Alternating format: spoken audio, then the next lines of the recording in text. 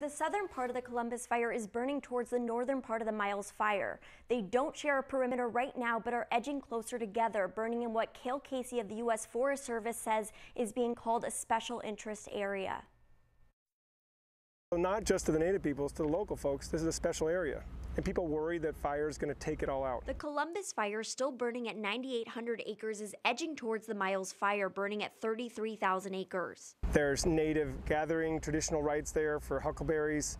There's a sensitive area between the wilderness and the forest and the tribe and different interests. It's what Cale Casey of the U.S. Forest Service says is being called a special interest area because it's federal land and also tribal land managed by the Cow Creek Band of Umpqua Tribe of Indians. And they have their government government to government relationship with the federal government, and they have interests in this special area. And he says balancing these different interests also changes their strategy in fighting flames. When there's homes, businesses, infrastructure, community assets at risk, we usually go much more aggressively, search and destroy the heat, attack it, mop it up, and put it out. In this case, they're considering letting the fire burn naturally. Sometimes mosaic burning, the way a fire burns in landscape, can benefit the ecosystem, can benefit traditional gathering rights. But he says there's still some risk involved. Sometimes natural fire actually is worse for a landscape if it gets really intense on its own and gets driven by wind when there's drought.